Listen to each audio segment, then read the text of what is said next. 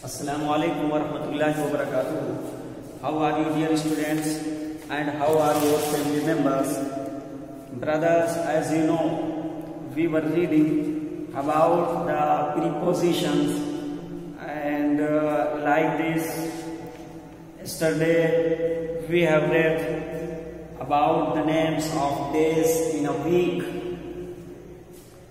Today we are going to read lesson number 15 names of months in a year. January is the first month of the year. December is the last month of the year.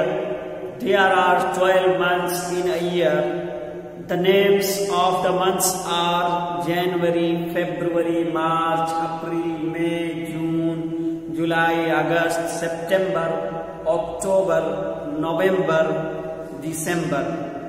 This month is March, the last month was February, the next month will be April, this month is February, the last month was January, this month is March, this month is April, this month is May, this month is June, this month is July, this month is August, this month is September, this month is October, this month is November, this month is December, this month is January. अज़ीज़ तलबा इससे पहले हम और आप prepositions के बारे में यानी प्रूफ जार के सिलसिले में पढ़ रहे थे इसके बाद में कल हमारा जो सबक था जिसे पढ़ा गया था, वो names of days in week यानी हफ़्ते में कितने दिन होते हैं, अंग्रेज़ी में उसको जानने की पूरी कोशिश की गई थी और इस सबक के ज़रिए से हमें ये बात मालूम हुई थी कि कौन सा, कौन, किस दिन का क्या नाम इंग्लिश में होता है, उसको पढ़ा गया था। इसकी एक्सरसाइज भी पढ़ी गई थी। और आज कौन दिन है, इसके बाद कौन दिन आएगा, इस तरीके की एक्सरसाइज कल जो गुजर गया वो दिन और आज जो दिन है, इस तरह की एक्सरसाइज गुजरी थी। अज़ीज़ तलबा, आज हमें लेसन नंबर 15 यानी 15 पढ़ना है, जो कि names of months in year साल में महीनों के नाम पर आधारित है। साल में कितने महीने होते हैं इस सिलसिले में इसमें बात होगी। आइए निम्नलिखित को ध्यान पूर्वक पढ़ो। January is the first month of the year यानी तर्जुमा कीजिए, January is the first month of the year बोलिए। हम्म तर्जुमा करिए। बोलिए। January is the first month of the year यानी साल, जनवरी ये साल का पहला महीना है। साल की शुरुआत जनवरी से होती है। जो जनवरी का महीना होता है, उससे साल की शुरुआत होती है। जैसे अभी अगला महीना जो होगा, वो जनवरी का होगा। यानी उससे अगले साल की शुरुआत हो जाएगी। 2021 की शुरुआत हो जाएगी। तो January is the first month of the year जनवरी साल का पहला महीना होता है, या पहला महीना है, December is the last month of the year और दिसंबर क्या है? ये साल का आखिरी महीना होता है।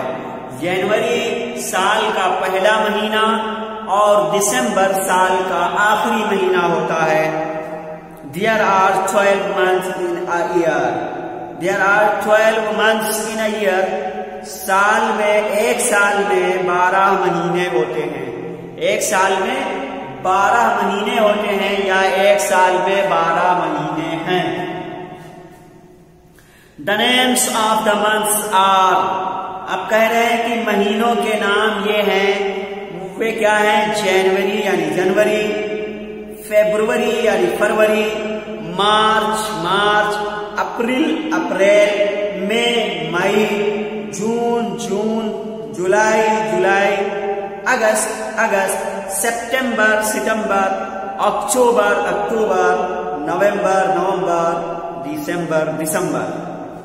तो इन महीनों की तरतीब है, यानी पहले जनवरी आएगा, उसके बाद में फरवरी का महीना, फिर मार्च का महीना, फिर अप्रैल का महीना, फिर मई का महीना फिर जून का महीना, फिर जुलाई का महीना, फिर अगस्त का महीना, फिर सितंबर का महीना, फिर अक्टूबर का महीना, फिर नवंबर का महीना, फिर दिसंबर का महीना। इस तरह तरतीब है साल भर के महीनों की। अब कह रहे हैं दिस मंथ इज़ मार्च ये महीना जो है मार्च का है। The last month was February गुजरा हुआ जो महीना था, वो फरवरी का था।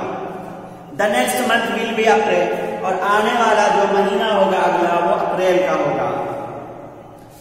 अब कह रहे हैं कि उदाहरण के अनुसार दूसरा वाक्य, द लास्ट मंथ के साथ बनाओ। द लास्ट मंथ का मतलब होता है, गुजरा हुआ जो महीना था। लास्ट मतलब गुजरा हुआ महीना, और नेक्स्ट मतलब आने वाला महीना। तो लास्ट मंथ माना समझ लीजिए, द लास्ट मंथ मतलब गुजरा हुआ महीना। और द नेक्स्ट मंथ मतलब आने वाला महीना और दिस मंथ मतलब ये महीना जो चल रहा है। तो इसी तरह ये एक्सरसाइज दे रहे हैं द लास्ट मंथ का इस्तेमाल करके जुमले बनाने हैं।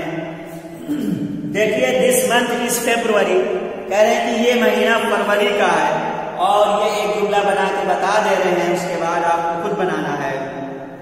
The last month was January और ये जो गुजरा हुआ महीना था, वो जनवरी का था, जनवरी का था। यानी जनवरी के बाद फेब्रुवरी आता है तो दिस मंथ इज़ फेब्रुवरी ये फरवरी का महीना है the last month was January जो महीना गुजर गया है, वो जनवरी का था। दिस मंथ इज़ मार्च ये महीना मार्च का है, अब इसके आगे आपको खुद बनाना है the last month was February और जो महीना गुजर गया है, वो फरवरी का था। दिस मंथ इज़ अप्रैल ये महीना अप्रैल का है। The last month was March और गुजरा हुआ महीना मार्च का। था दिस मंथ इज़ मे ये महीना मई का है। The last month was April और गुजरा हुआ महीना अप्रैल का था। दिस मंथ इज़ जून ये महीना जून का है। The last month was May और गुजरा हुआ महीना मई का था। दिस मंथ इज़ जुलाई ये महीना जुलाई का है। और the last month was June गुजरा हुआ महीना जून का था। ठीक है? तो ये लास्ट मंथ लगा करके इस तरह जुमले बनाएँगे। अब उदाहरण के अनुसार दूसरा वाक्य, यानी द नेक्स्ट मंथ के साथ बनाओ। नेक्स्ट मंथ का क्या बताया? यानी आने वाला जो महीना है, उसके बारे में बात कर रहे हैं। आने वाला महीना। द नेक्स्ट मंथ मतलब आने वाला महीना the next month will be September देखिए दिस मंथ इज़ अगस्त ये महीना अगस्त का है the next month will be September अगला महीना क्या है? सितंबर का होगा। दिस मंथ इज़ सितंबर ये महीना सितंबर का है the next month will be October अगला महीना क्या है? अक्टूबर का होगा। दिस मंथ इज़ अक्टूबर ये महीना अक्टूबर का है। The next month will be November और अगला महीना नवंबर का होगा। दिस मंथ इज़ नवंबर ये महीना नवंबर का है। The next month will be December और अगला महीना क्या है? दिसंबर का होगा। दिस मंथ इज़ दिसंबर ये महीना दिसंबर का है। The next month will be January अगला महीना जनवरी का होगा। वाकई में ये महीना दिसंबर का है, अगला जनवरी का होगा। दिस मंथ इज़ जनवरी ये महीना जनवरी का है। The next month will be बोलिए फेब्रुवरी अगला महीना फरवरी का होगा। तो ये अज़ीज़ तलबा लेसन नंबर पंद्रह था, जिसमें साल में कितने महीने होते हैं, उसके सिलसिले में बात आई कि साल में बारह महीने होते हैं, वो कौन कौन से महीने हैं उनको आपने पढ़ा है। अगस्त, जनवरी, फरवरी, मार्च, अप्रैल, मई, जून, जुलाई, अगस्त, सितंबर, अक्टूबर, नवंबर, दिसंबर, इन महीनों को पढ़ा है और इनकी तरतीब को पढ़ा है आपने। यानी कौन सा महीना, किस महीने के बाद में आएगा सिलसिलेवार आपने देखा। इसे आपको जबानी स्पेलिंग के साथ रटना होगा। और आपने इसके बाद में इन्होंने तीन एक्सरसाइज सिखाई। दिस मंथ इज़ मार्च यानी ये जो महीना चल रहा है, इसको दिस मंथ से याद किया और गुजरे हुए महीने के एक्सरसाइज द लास्ट मंथ से कराया और आने वाले महीने की एक्सरसाइज द नेक्स्ट मंथ के ज़रिए कराया है। तो इन्हीं बातों को इस सबक में बताया गया है। अब आइए अगला सबक लेसन नंबर 16 पढ़ा जाए। इसमें सुधास फैमिली यानी सुधा के परिवार के बारे में बात करेंगे, बताएँगे। देखिए, इसमें कह रहे हैं, निम्नलिखित पाँच चित्र सुधा के परिवार से संबंधित हैं। इन चित्रों को कर्मवार देखने पर नीचे लिखा हुआ पैराग्राफ बनता है। निम्नलिखित पाँच चित्र सुधा के परिवार से संबंधित हैं। यानी नीचे जो पाँच तस्वीरें बनी हैं, ये सुधा के परिवार यानी खानदान से मुतालिक है। संबंधित मतलब मुतालिक हैं। इन चित्रों को कर्मवार देखने पर, कर्मवार मतलब तरतीब से, यानी इन तस्वीरों को तरतीब से देखने पर नीचे लिखा हुआ पैराग्राफ, नीचे लिखा हुआ जो पैराग्राफ है, नीचे लिखा हुआ पैराग्राफ बनता है। कह रहे इन तस्वीरों को तरतीब से देखने पर नीचे लिखा हुआ पैराग्राफ बनता है। इसे पढ़ें और इस पर आधारित आधारित मतलब इसकी बुनियाद पर, प्रश्नों के, इस पर आधारित प्रश्नों के, यानी इसकी बुनियाद पर जो सवाल हैं, उसके उत्तर दिए हुए स्थानों पर लिखो। उसके दिए हुए स्थानों पर लिखो। तो देखिए Sudha is reading a book Sudha एक किताब पढ़ रही है। There are two books on the table table पर दो किताबें हैं। Sudha is reading a book Sudha एक किताब पढ़ रही है। There are two books on the table table पर दो किताबें हैं। Her mother is in the kitchen उसकी माँ उसकी माँ रसोई घर में है, यानी मतबख में है। उसकी माँ मतबख में है। शी इज़ कुकिंग फ़ूड वो खाना बना रही है। Sudha is helping her mother in the kitchen Sudha, अब तीसरी तस्वीर देखिए, सुधा अपनी माँ के साथ किचन में उनकी मदद कर रही है। तो Sudha is helping her mother Sudha अपनी माँ की मदद कर रही है इन द किचन मतबख में। Her father is sitting on the chair in the veranda उसके वालिद साहब कुर्सी पर बरामदा में बैठे हुए हैं। देखिए, बरामदा में है, वहाँ कुर्सी है, उस पर उसके वालिद बैठे हुए हैं। तो her father is sitting on a chair in the veranda उसके वालिद बरामदे में कुर्सी पर बैठे हुए हैं। पांचवी तस्वीर देखिए, ये एक लड़का नहा रहा है, जो कि सुधा का भाई है। तो Sudha, brother is taking bath Sudha का भाई नहा रहा है। नियर द वाटर टैप टंकी के करीब। यानी ये जो टोटी होती है टोटी के करीब, पानी के टोटी के करीब नहा रहा है। सुधा ब्रादर सुधा का भाई इज़ टेकिंग बेथ नहा रहा है। नियर द वाटर टैप पानी के टोटी के करीब। अब यहाँ ये कह रहे हैं कि तस्वीरें देख देख करके ये पैराग्राफ जो बनाए गए हैं इन्हीं के बेस पर, इन्हीं की बुनियाद पर नीचे कुछ सवाल पूछे जाएँगे। इन्हीं में से ढूंढ ढूंढ करके उनके जवाब आपको देने हैं। तो एक्सरसाइज नंबर 18 देखिए। उपरोक्त पैराग्राफ को पढ़कर दिए हुए स्थानों में प्रश्नों को ठीक उत्तर लिख, प्रश्नों का ठीक उत्तर लिखो। कह रहे ऊपर जो पैराग्राफ दिया गया है उसको बगौर पढ़ करके उसी में से नीचे जो सवाल बनाए गए हैं, उसी में से उत्तर छांट कर लिखिए। Who is reading a book किताब कौन पढ़ रहा है? तो ऊपर बताइए कौन पढ़ रहा है?